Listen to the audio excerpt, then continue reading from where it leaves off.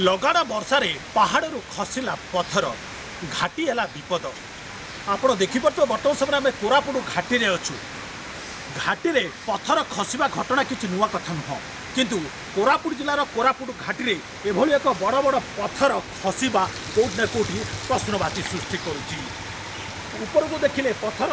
চারিআড়ে দেখলে জঙ্গল কিন্তু ইয়ার ভিতরে অনেক সময় মাটি অতড়া খসবা কথা আমি দেখা মিলুলা কিন্তু কোরাপুট জেলার এই ঘাটি যা কি পাঁচ কিলোমিটর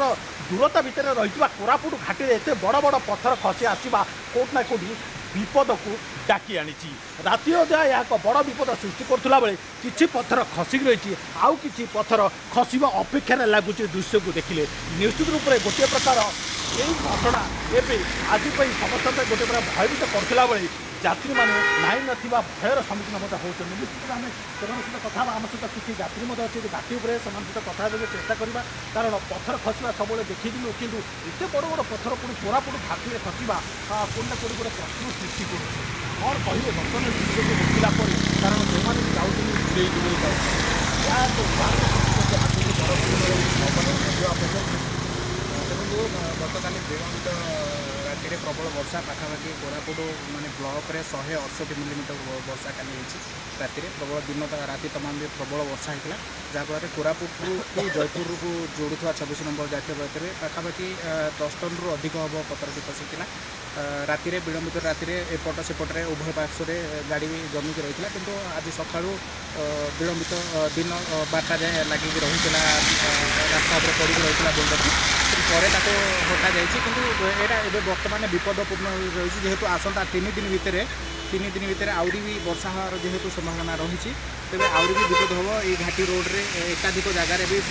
ଭୂସ୍ଖଳନ ହେଉଛି ମାଟି ଅତରା ବି ପଡ଼ୁଛି ସେଥିପାଇଁ ଇଏ ରହିବା ଦରକାର ପ୍ରଶାସନ ସଜାଗ ରହିବା ଦରକାର ଆଉ ଯେଉଁ କେଉଁଠି ବି ବୋଲ୍ଡର ଖସୁଛି କି ହେଉଛି ତାକୁ ଗାଁ ଗାଁ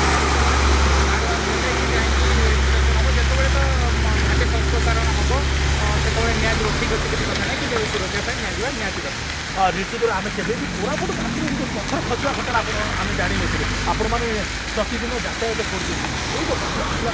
କେମିତି ଲାଗୁଛି ଆପଣ କେତେ ଭାବୁଛନ୍ତି ଏ ଘଟଣା ଏଇଟା ପ୍ରଥମ ଥର ହେଉଛି ଆଗକୁ ଭୟ ରହିବ ନା ଭୟ ଲାଗୁଛି ନିଶ୍ଚିତ ଭାବରେ ଯେ ଯେଡ଼େ ଯେଡ଼େ ପଥର ହେଉଛି ତ ଦେଖିଲେ ତ ନିଶ୍ଚିତ ଭାବରେ ବହୁତ ଡର ଲାଗୁଛି